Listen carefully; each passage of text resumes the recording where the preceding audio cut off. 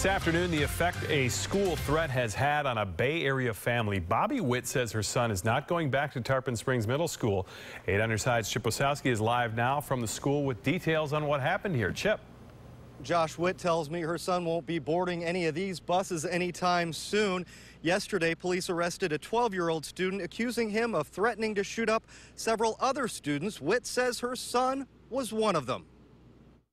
My son was still on a list that he sat next to the kid, that the the kid leaned over and said, You're going to be number one. When Bobby Witt heard about the threat here at Tarpon Springs Middle, her heart sank.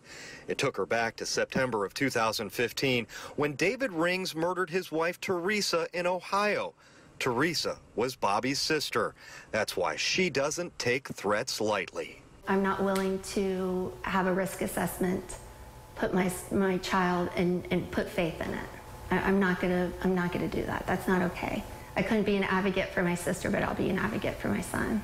The school threats seem to be happening on a regular basis.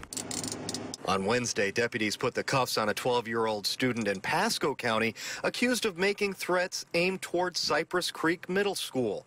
Superintendent Kurt Browning telling me Enough is enough. And they are literally facing a second degree felony. And if they don't think that even if you go through some diversion program that it's not going to stick with you, it sticks with you.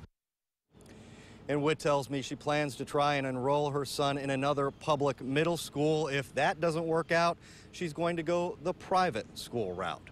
Reporting live in Tarpon Springs, I'm Chip Osowski, 8 on your side.